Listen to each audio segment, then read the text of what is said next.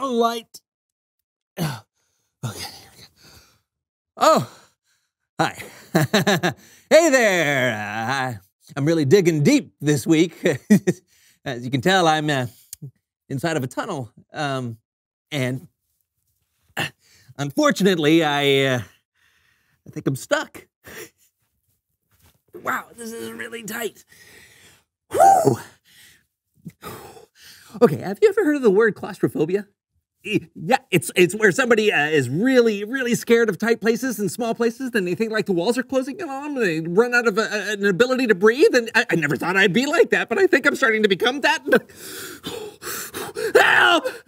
Help! Somebody, please come help me! I've dug too deep and I can't get up. John? Is that an angel?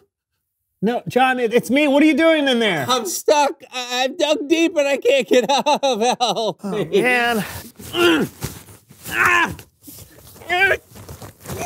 I can't dig out!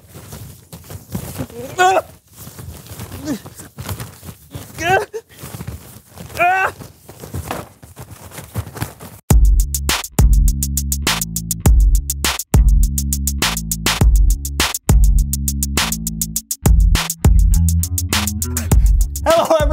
I'm Brandon. And I'm John. This is the So and So Show. Are you so or so? Oh, I'm so.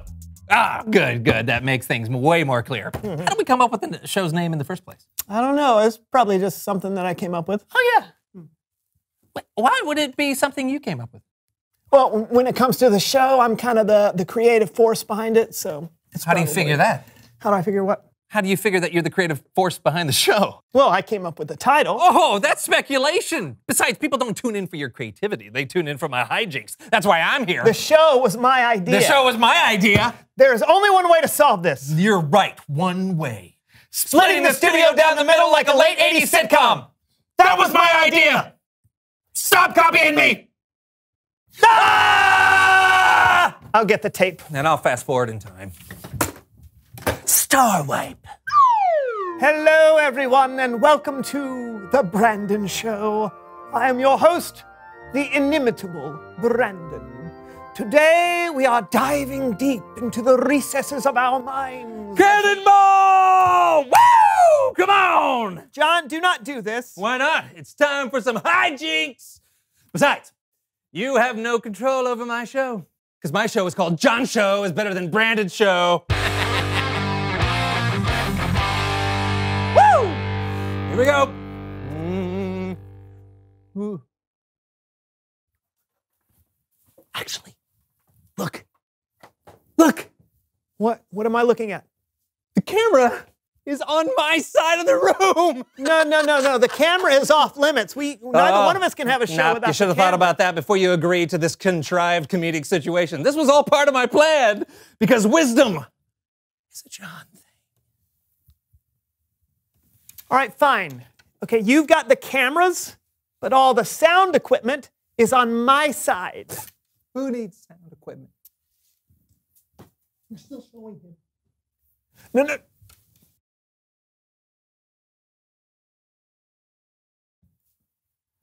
Welcome again to my wonderful show. And an example of verbal dexterity not seen since my sophomore year in high school, I shall sing the Major General song from Pirates of Penzance. I am the very model of a modern major general. I've information, vegetable, animal, and mineral. I know the kings of England, and I quote the fights historical from Marathon to Waterloo and orders categorical. I. It's been. It's been a long time since I've done this, so I only remember the first four lines. You won't, won't have a problem hearing those five or six times, right? So here we go. I am the very model of the modern. This isn't working, is it? Maybe we can go to Bible time. John, no one can hear you, all right? But hey, but I've got an idea. We should go to Bible story time with Kellen.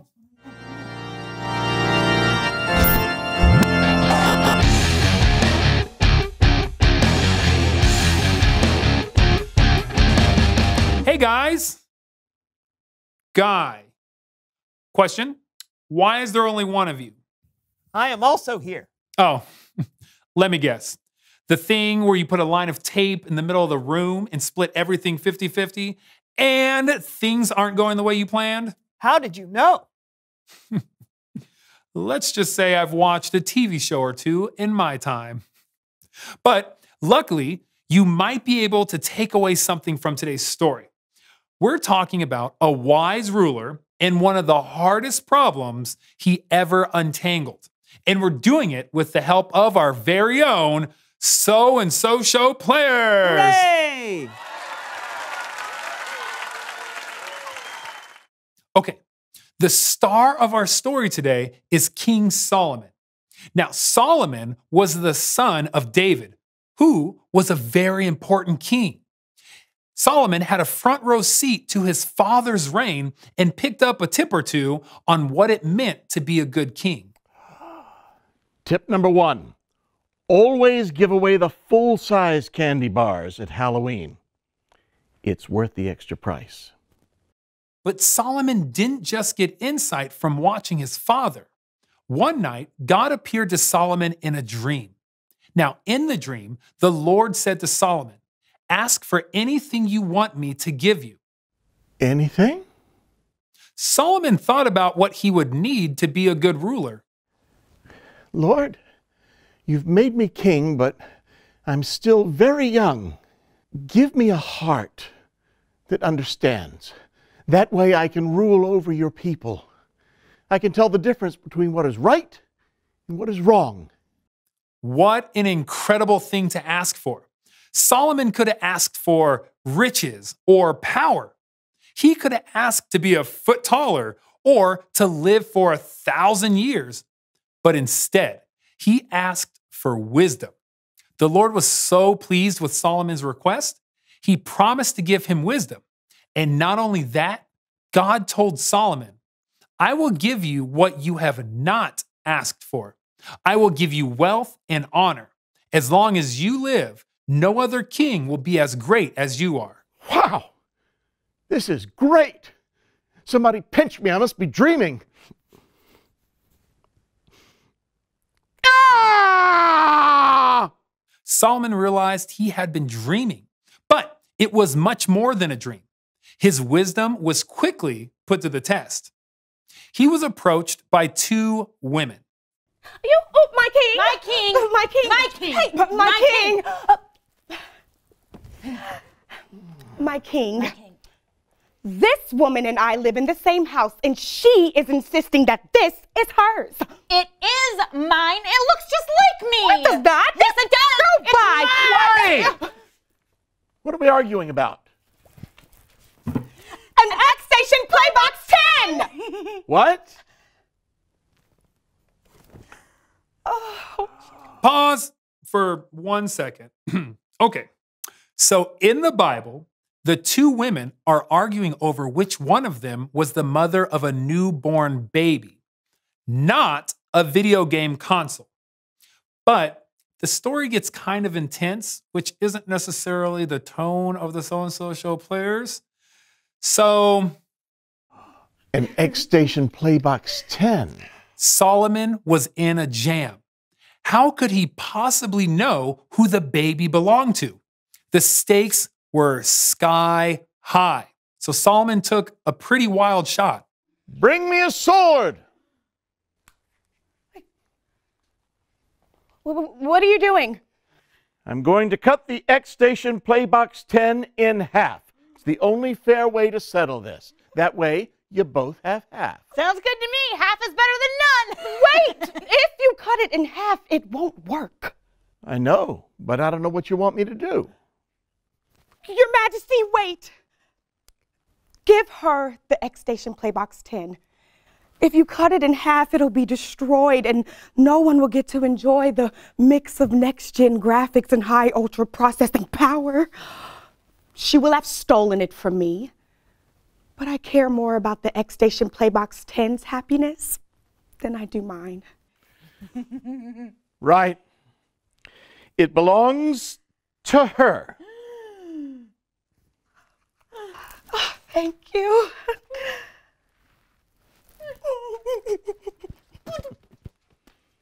Yeah. Not fair. Not fair at all. no, no, no, no, no. I did right by that baby. Yep. X Station Playbox 10. What's next? The end. Let's give a big round of applause for the so and so show players.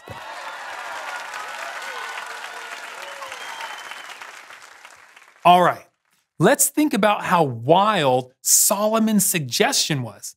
He said to cut a baby in half. That's nuts. But he would have never hurt the child. It was a test. Solomon was thoughtful about the problem and he was kind to the real mother who was in a bit of a bind. And he trusted God for wisdom. Those are the qualities you need as a follower of Jesus. You'll have hard decisions too, but when you listen to God and the wisdom of the people he puts in your life, more often than not, you'll make a good choice.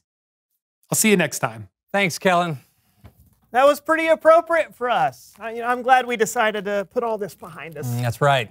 Obviously, we can disagree about things, but cutting each other off completely isn't wise.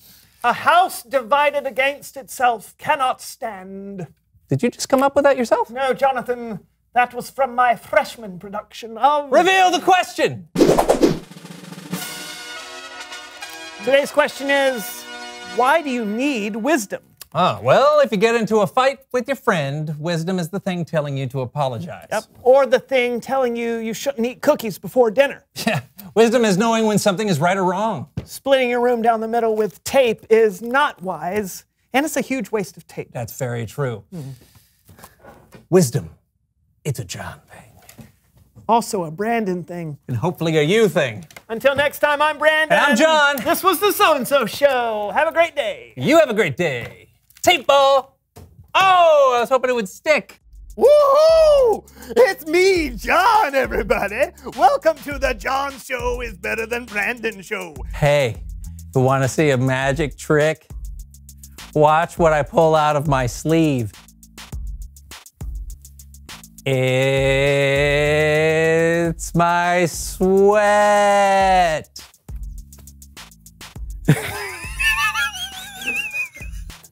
Okay, here's a burpee for you.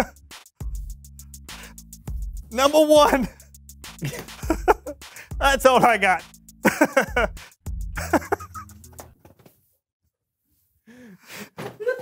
I'm sorry.